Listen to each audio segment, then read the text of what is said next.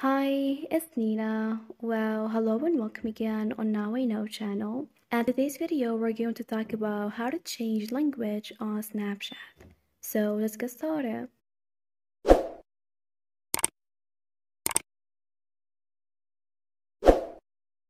Well, first, after getting the application, tap on your profile app here.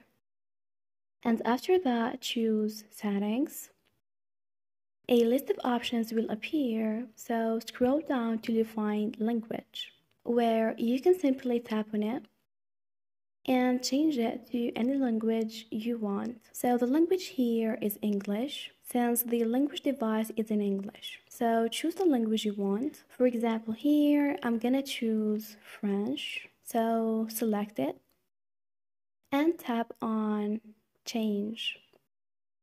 And like that, you've changed Snapchat language successfully. Thanks for watching. See ya!